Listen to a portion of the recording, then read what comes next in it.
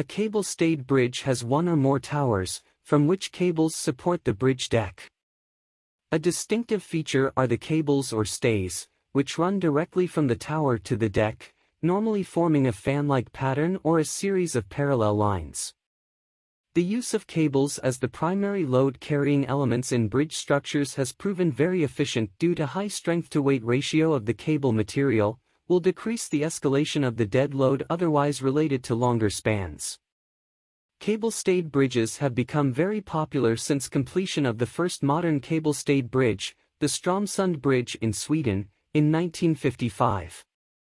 Due to the versatile nature of cable-stayed bridges, this type of bridge design is adopted for a variety of span lengths, from footbridges less than 50 meters in length, up to spans of more than 1,000 meters carrying traffic load. There are currently well over 1,000 cable-stayed bridges around the world. Welcome to Engineering Concepts, today we will discuss about cable-stayed bridges.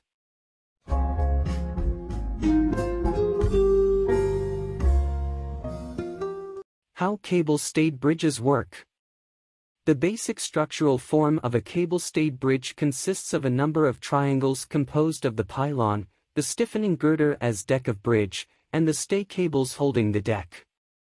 Bridges mainly carry vertical loads, a bridge transfers the dead load or self-weight and vehicular loads from deck to girders, and then to foundation through abutments. In cable-stayed bridges, these loads are transferred locally by the stiffening girder to the elastic supports provided by the stay cables and subsequently through tension in the cables to the pylons.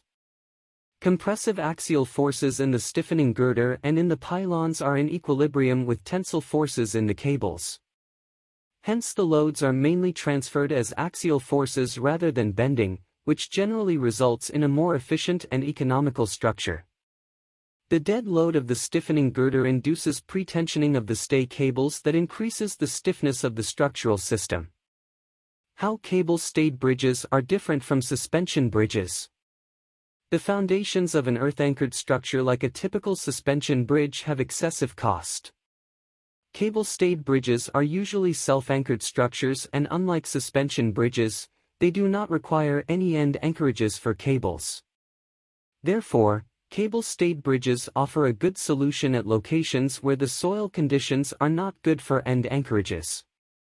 As a consequence of the self-anchored system, a cable-stayed bridge is typically faster to construct in comparison with a suspension bridge. Because erection of the superstructure can start as soon as the pylons reach the height of the first cable anchor points. However, the arrangement of the stay cables in combination with the self-anchored system introduces compression in the girder which makes cable-stayed bridges less favorable for very long spans.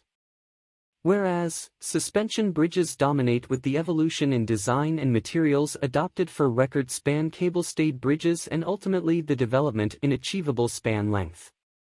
Cable-stayed bridges offer diversity. Record long spans obviously require efficient structural systems. However, it is also worth mentioning some of the large number of cable-stayed bridges with more moderate span length, but very spectacular designs that have been completed. These structures fully demonstrate the diversity in terms of span arrangement, pylon shape, cable configuration and girder arrangement offered by this bridge type. One of the most famous examples is probably the Alamillo Bridge in Seville, Spain. Completed in 1991, the bridge features a single inclined pylon, leaning backwards away from the main span and arranged without backstays. The balance for permanent loads is achieved by a combination of a lightweight steel girder and a heavy concrete pylon. Live loads result in global bending in the girder and pylon. Due to the arrangement construction was relatively complicated and the structural system is obviously not very efficient. The main span length is 200 meters. Configuration of cable-stayed bridges. Depending on the obstacle to be crossed and site conditions, cable-stayed bridges are usually arranged as two-span, three-span or multi-span bridges. The two-span arrangement consists of a main span and a shorter side span, also referred to as backspan. The three-span arrangement, which is the most common, consists of a main span and two side spans, where the length of each side span equals half of the main span length or less. Similarly, a multi-span cable-stayed bridge has a number of main spans and a side span at either end. Vertical restraints are arranged towards the ends of the cable-supported portion of the bridge. The vertical restraint is usually located at the abutment or, in case of a longer crossing with approach viaducts, over one or a number of side span piers. Anchor cables attached over the vertical fix point provide an efficient horizontal restraint of the pylon top. Purpose and arrangement of cable stays.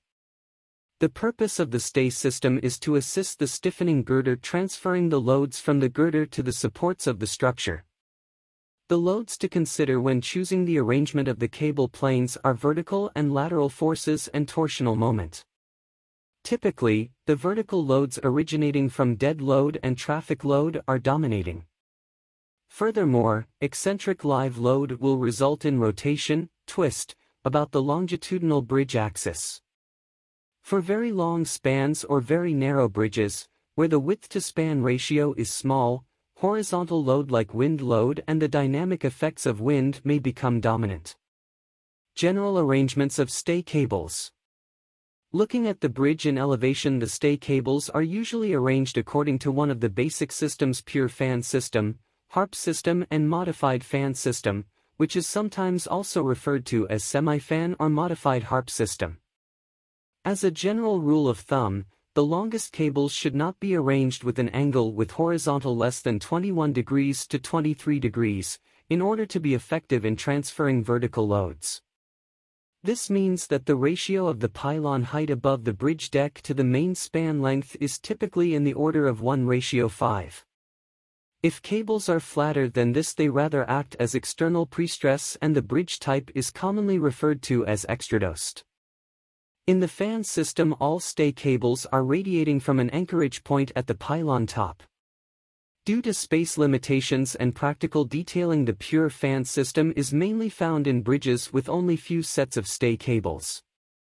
As the trend moved towards multi-cable systems with many relatively small stay cables, it was found more favorable to spread the anchorage zone out in the upper part of the pylon leading to the modified fan system. With the HARP system the stay cables are parallel and the anchorages are spread over practically the entire height of the pylon above the stiffening girder.